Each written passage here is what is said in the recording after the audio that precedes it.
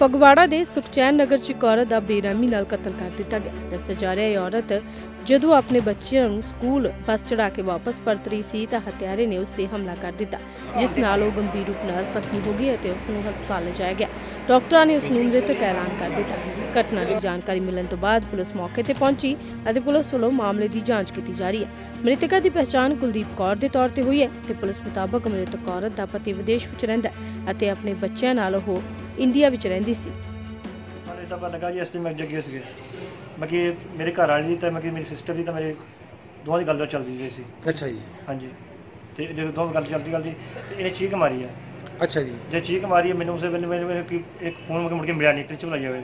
ਤੇ ਉਸੇ ਵੇਲੇ ਮੈਨੂੰ ਮੈਨੂੰ ਫੋਨ ਕਰਤਾ ਮੇਰੇ ਘਰ ਵਾਲੀ ਨੇ। ਅੱਛਾ ਜੀ। ਕਿ ਪਤਾ ਨਹੀਂ ਚੀਕ ਮਾਰੀ ਸੀ ਭੈਣ ਨੇ ਤੇ ਜਲਦੀ ਜਲਦੀ ਆਓ ਪਤਾ ਨਹੀਂ ਕੀ ਗੱਲ ਹੋਈ। ਹੂੰ ਹੂੰ। ਤੇ ਅੱਜ ਆ ਦੇਖਣਾ ਆ ਮੈਂ ਬੀੜ ਪਾਸੀ ਖੇਤਾਂ 'ਚ ਪਾਣੀ ਲਾਉਂਦਾ ਪਿਆ ਸੀਗਾ। ਅੱਛਾ ਜੀ। ਤੇ ਫਿਰ ਪਾਣੀ ਲਾਉਂਦਾ ਪਿਆ ਮੈਨੂੰ ਅੱਠਾ ਉੱਥੋਂ ਆਇਆ। ਠੀਕ ਹੈ ਜੀ ਉੱਥੋਂ ਆ- ਆ ਆ ਕੇ ਤੇ ਮੜਕੀ ਜਦੋਂ ਆਪਣੇ ਮੈਨੂੰ ਇੱਕ ਜਲਦੀ ਨਹਿਰ ਤੇ ਆਇਆ। ਆਪਣੇ ਨਹਿਰ ਸਤਸੰਗ ਕਰਨ ਨਹਿਰ ਤੇ ਆਇਆ ਉੱਥੇ ਮੈਂ ਨਹਿਰ ਤੇ ਆਇਆ ਮੈਂ ਕਿਹਾ ਉੱਥੇ ਬਸ ਨਿਕਲਣਾ ਮੈਂ ਘਰ ਨਹੀਂ ਜਾਣਾ ਉਹ ਨਹਿਰ ਤੇ ਆ ਗਏ ਤਾਂ ਘਰ ਵਾਲੀ ਮੇਰੇ। ਜਦੋਂ ਇੱਥੇ ਪਹੁੰਚਿਆ ਤੇ ਗੇਟ ਗੇਟ ਟੱਪ ਕੇ ਅੰਦਰ ਦੇਖਿਆ ਤੇ ਅੰਦਰ ਬਾਹਰ ਹੋਇਆ। ਕਿਹੜਾ ਜੀ ਆ ਅੰਦਰ ਲਾਇਆ ਸੀਗਾ ਜੀ। ਹਾਂ ਹਾਂ। ਸਾਨੂੰ ਇਹ ਨਹੀਂ ਪਤਾ ਸੀ ਆ ਖੁੱਲਾ ਕਿ ਲੱਗਾ ਹੈ ਅੱਛਾ। ਜੀ। ਹਾਂਜੀ। ਤੇ ਮੈਂ ਮੈਨੂੰ ਕਾਲੀ ਸੀ ਜਦੋਂ ਤੁਸੀਂ ਬ੍ਰਦਰ ਅੰਦਰ ਆਏ ਉਦੋਂ ਉਹਨਾਂ ਦੀ ਡੈਥ ਹੋ ਚੁੱਕੀ ਸੀ ਕਿ- ਨਹੀਂ ਦਸ ਚੱਲਦੀ ਪਈ ਸੀ। ਅੱਛਾ ਫਿਰ ਤੁਸੀਂ ਉਹਨੂੰ ਚੱਕ ਕੇ ਹਸਪੀਟਲ ਲੈ ਗਏ? ਹਾਂਜੀ ਹਾਂਜੀ। ਰਾਹ ਜਾਂਦੀ ਜਾਂਦੀ ਬਸ। ਸਵੇਰੇ ਪੁਲਿਸ ਨੂੰ ਇਨਫੋਰਮੇਸ਼ਨ ਮਿਲੀ ਸੀ ਕਿ ਕੁਲਦੀਪ ਕੌਰ ਵਾਈਫ ਆਫ ਨਰਿੰਦਰ ਸਿੰਘ ਦੇ ਕੋਈ ਚਾਕੂ ਮਾਰ ਗਏ ਨੇ ਤੇ ਹਸਪੀਟਲ ਗਏ ਸੀ। ਹਸਪੀਟਲ ਤੋਂ ਬਾਅਦ ਅਸੀਂ ਮੌਕੇ ਤੇ ਆਏ ਹੈਗੇ ਆ ਇਹਨਾਂ ਦੇ ਹਸਬੰਡ ਜਿਹੜੇ ਆ ਬਾਹਰ ਰਹਿੰਦੇ ਨੇ ਔਰ ਇਹ ਆਪਣੇ ਬੇਟੇ ਨੂੰ ਜਿਹੜੇ ਆ ਆ ਕੁਛ ਦੂਰੀ ਦੇ ਉੱਤੇ ਵੈਨ ਤੇ ਛੱਡਣ ਗਏ ਸੀ। ਛੱਡ ਕੇ ਜਦੋਂ ਵਾਪਸ ਆ ਰਹੇ ਸੀ, ਇਹਨਾਂ ਦੀ ਆਪਣੀ ਭਰਜਾਈ ਨਾਲ ਗੱਲ ਹੋ ਰਹੀ ਸੀ। ਇਸੇ ਦੌਰਾਨ ਹੀ ਇਹਨਾਂ ਨੂੰ ਜੋ ਚੀਕਾਂ ਦੀ ਆਵਾਜ਼ ਸੁਣੀ ਇਹਨਾਂ ਦੀ ਭਰਜਾਈ ਨੂੰ, ਉਹ ਫਿਰ ਭਰਜਾਈ ਇਹਨਾਂ ਦੀ ਇੱਥੇ ਆਏ ਸੀ। ਭਰਜਾਈ ਆਉਣ ਤੋਂ ਬਾਅਦ ਇਹਨਾਂ ਨੇ ਦੇਖਿਆ ਕਿ ਇਹ ਇੱਥੇ ਬੈੱਡ ਤੇ ਬੈੱਡ ਤੇ ਸੀ ਜਿਨ੍ਹਾਂ ਨੂੰ ਇਹਨੇ ਹਸਪੀਟਲ ਲੈ ਗਏ ਜਿੱਥੇ ਡਾਕਟਰ ਡਾਕਟਰ ਸਾਹਿਬ ਨੇ ਉਹਨਾਂ ਨੂੰ ਮ੍ਰਿਤਕ ਘੋਸ਼ਿਤ ਕੀਤਾ ਵਾ। ਪੁਲਿਸ ਇਨਵੈਸਟੀਗੇਸ਼ਨ ਕਰ ਰਹੀ ਹੈ ਮੌਕੇ ਤੇ ਆਏ ਹਾਂ ਅਸੀਂ ਦੇਖ ਰਹੇ ਹਾਂ।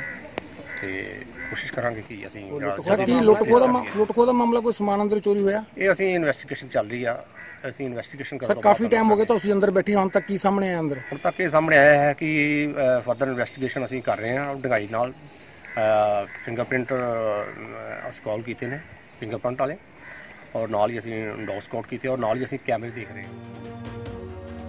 ਬਹਰਹਾਲ ਪੁਲਿਸ ਦੇ ਲਈ ਇਹ ਕਤਲ ਇੱਕ ਪਹੇਲੀ ਬਣ ਚੁੱਕੀ ਹੈ ਤੇ ਪੁਲਿਸ ਦਾ ਦਾਅਵਾ ਹੈ ਕਿ ਜਲਦ ਹੀ ਇਸ ਮਾਮਲੇ ਨੂੰ ਸੁਲਝਾ ਲਿਆ ਜਾਵੇਗਾ ਅਤੇ ਕਤਲ ਕਰਨ ਵਾਲੇ ਹਿਰਾਸਤ ਵਿੱਚ ਆਉਣਗੇ।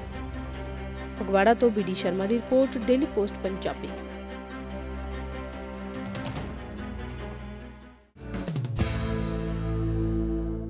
ਸਤਿ ਸ਼੍ਰੀ ਅਕਾਲ। ਜੇ ਤੁਸੀਂ ਕੈਨੇਡਾ ਸਟੂਡੈਂਟ ਵੀਜ਼ੇ ਤੇ ਜਾਣਾ ਚਾਹੁੰਦੇ ਹੋ, ਤੇ ਜਨਵਰੀ 2020 ਦੇ ਦਾਖਲੇ ਖੁੱਲ ਚੁੱਕੇ ਹਨ। You know SDS non SDS university ਪ੍ਰਣਾਲੀ ਦੇ ਅੰਦਰ ਤੁਸੀਂ ਜਨਵਰੀ ਸੈਸ਼ਨ ਦੇ ਲਈ ਦਾਖਲਾ ਲੈ ਕੇ ਟਾਈਮ ਸਿਰ ਆਪਣਾ ਵੀਜ਼ਾ ਫਾਈਲ ਕਰ ਸਕਦੇ ਹੋ ਔਰ ਕੈਨੇਡਾ ਜਾਣ ਦੇ ਆਪਣੇ ਸੁਪਨੇ ਨੂੰ ਸਾਕਾਰ ਕਰ ਸਕਦੇ ਹੋ।